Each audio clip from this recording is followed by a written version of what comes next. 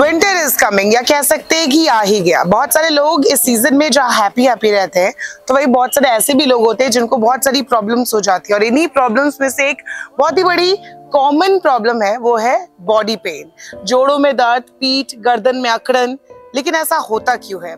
क्या इसका blame winter season पर डालना सही है? क्या विंटर्स में सिर्फ़ गठिया के मरीजों को अपना ख्यास, ख्याल रखना चाहिए या फिर हेल्दी लोगों के साथ भी ऐसा ही है?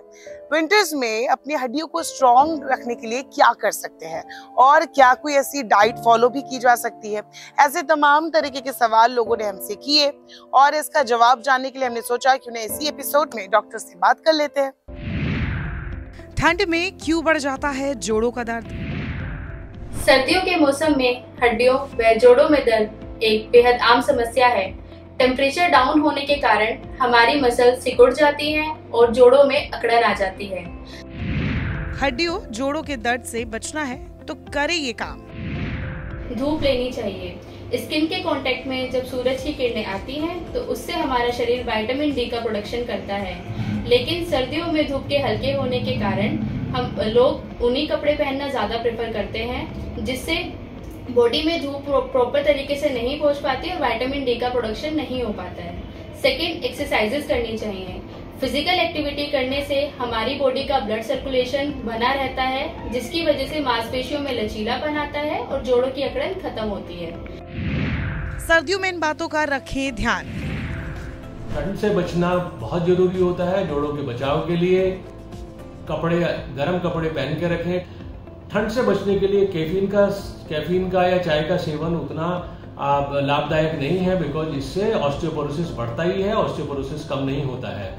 ठंड में सूर्य का सन का एक्सपोजर कम होता है, इसलिए विटामिन डी और कैल्शियम डेफिशिएंसी होने की समस्या का अंदेशा रहता है। ऐसे में कैल्शियम और विटामिन डी के सप्लीमेंट लेने ज़रूरी होते हैं। ऐसी डाइट लें जिनमें कैल्शियम विटामिन डी हो जैसे कि ब्रोकोली है जैसे कि ड्राई फ्रूट्स हैं जैसे कि लीफी ग्रीन वेजिटेबल्स हैं एंड फ्रूट्स हैं। और इसके साथ साथ आप मिल्क और मिल्क प्रोडक्ट्स लेना भी ज़रूरी है जिससे कि कैल्शियम विटामिन डी मिनरल्स और प्रोटीन्स का सप्लीमेंटेशन एडिक्वेट हो। जोड़ों के दर्द में पेन किलर सही है? अगर जोड़ों में दर्द होता है पेन किलर लेना कोई समाधान नहीं है। पेन किलर एक टेम्पररी सोल्यूशन है तो दर्द का की वजह ढूँढने का कोशिश करें ठंड से बचाव रखें। गठिया के मरीजों को ठंड में बचना चाहिए। गठिया के मरीजों में स्पेशली जो जोड़ों की समस्या है वो सर्दियों में बढ़ जाती है। काफ़ी बढ़ने का अंदेशा रहता है तो ठंड से बचाव रखना है। पेय पदार्थों का सेवन करना है जो मेडिसिन गठिया के चल रहे हैं उसे लेते रहे। अगर तकलीफ़ बढ़ती है तो डॉक्टरी सलाह लेना भी ज़रूरी है। पेन किलर उसका कोई एकदम सोल्यूशन नहीं है। सर्दियों में इन बातों का रखे ध्यान। ठंड में बचने के लिए ठंड से बचना ज़रूरी है, पर एक्सरसाइज भी साथ साथ करते रहे। एक्सरसाइज ऐसा नहीं है कि अगर ठंड आ गया तो एक्सरसाइज बिल्कुल करना बंद कर दे।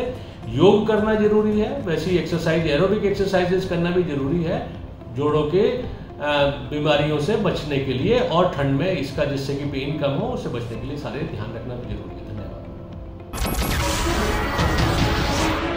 नमस्कार, मैं हूँ मानक गुप्ता। अगर आपको हमारा ये वीडियो पसंद आया हो तो इसे लाइक और शेयर ज़रूर करें।